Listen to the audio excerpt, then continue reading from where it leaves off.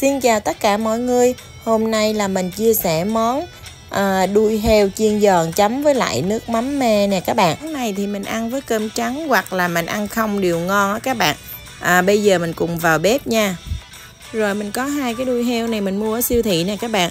Mình đã rửa sạch qua rồi nè. Mình đang để ráo nước nè. Bây giờ mình sẽ bắt bếp để mà mình đi luộc cái đuôi heo trước nha. Rồi bây giờ là mình sẽ bắt nồi nước lên Mình cho ít lát gừng vào để cho luộc nó sẽ có mùi thơm nha. Và sau đó thì mình sẽ cho một ít giấm này các bạn. Giấm thì nó giúp đuôi heo á, nó giữ được cái màu trắng á. Rồi sau khi mình luộc nó sôi lên rồi mình vớt bọt hết nè. Đó, Và tiếp tục mình luộc nha. Đuôi heo này mình luộc khoảng 20 phút á các bạn. Rồi mình luộc được 20 phút rồi mình sẽ vớt ra để mình ráo nước nha. Các bạn nhìn thấy hai cái đuôi heo mình luộc nè mình cho ít giấm vô thì đuôi heo nó nó trắng mà nó không có bị đen đó các bạn. Rồi bây giờ mình sẽ lấy mấy cái xiên que này nè các bạn. Mình xôm vô cái đuôi heo nha mình xôm vô phần da của nó để lát nữa mình chiên thì nó sẽ giòn hơn.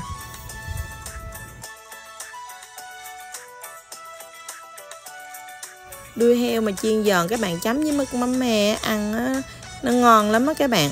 À, hoặc là các bạn chấm với lại là à, tương ớt cũng được nữa nhưng mà mình chấm với mắm me thì mình ăn nó chua chua nó ngon hơn. Rồi à, mình không có cái chảo nhỏ cho nên mình dùng cái chảo này nè các bạn và mình cho phần dầu nó cũng hơi nhiều xíu nha. Và mình cho một ít muối vào để khi mà mình chiên á thì nó sẽ ít cái văng dầu á. Các bạn mà có cái chảo nhỏ thì mình cho dầu vào á mình chiên thì mình cho ít dầu hơn.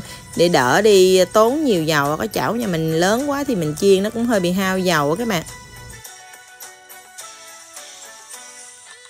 Đó như nhà mình mình cho cái phần dầu là nó ngập nửa cái đuôi heo là được rồi các bạn. Đó, nó ngập một phần nửa một phần hai như thế này thôi. Lát nữa thì mình chiên nó giòn một bên rồi thì mình sẽ à, à trở bì rồi mình cứ để lửa ở mức 5 6 rồi mình đậy nắp như thế này nè thôi các bạn. Mình là mình muốn đậy nắp lại cho nó khỏi cái văng dầu nó có cái văng thì nó cũng khỏi ra nó khỏi dơ bếp đó các bạn. Đó rồi ha nhưng mà lúc mà mình bỏ cái muối á, hoặc là các bạn có thể bỏ bột năng á, thì nó cũng sẽ không có văng dầu đâu. Rồi như mình thì mình sợ văng da thì nhiều khi nó cũng còn á, nó văng da thì mình mình mình à, đậy cái nắp dung như thế này nè. Đó nó rất là tiện nè ha. Ừ. đó rồi các bạn thấy chiên ha nó giòn một bên rồi nè. Rồi mình lại cứ thế mình đậy nắp lại cho nó sạch bếp nè. Rồi bây giờ mình dở ra mình thăm dò nè ha mình thấy nó cũng vàng rồi đó à, bây giờ mình sẽ lấy cái cái cái muỗng này mình mình à, tưới dầu lên nè cho nó à, giòn hết những cái phần chưa chưa có à, có chiên á các bạn. Đó bạn tưới như mình nè.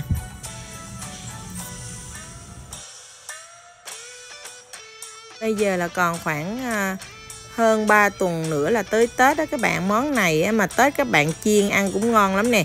Món này thì mình ăn vào ngày Tết cũng được luôn á các bạn. Đó mình có thêm cái mà Tết thì mình có dưa món á mình ăn chung nó cũng ngon lắm. Rồi các bạn cứ thế mà các bạn chiên thôi, các bạn chiên cho nó nó giòn hết đều là được. Rồi, hai miếng đuôi heo là mình chiên giòn rồi nè. Đó, bây giờ mình gấp ra nha. Mình để cho nó ráo dầu các bạn. Rồi sau đó mình mang đi chặt á. Đó, các bạn thấy hai cái đuôi heo không? Nó giòn ghê luôn á. Cái màu lên màu rất là đẹp luôn nè. Bây giờ mình sẽ chặt ra nha mình chặt ra mình coi thử nè. Đó các bạn thấy không? Đó mình chặt ra này mình thấy ở, ở ngoài là nó giòn mà ở trong là nhìn cái thịt nó rất là mềm á nha các bạn. Ăn cái này là ngon lắm luôn nè. Cái này mình chặt vừa khúc vừa thôi tại vì bé nhà mình lại thích ăn á cho nên là mình không có chặt to. Bé thì thích ăn cục nhỏ nhỏ thôi nè.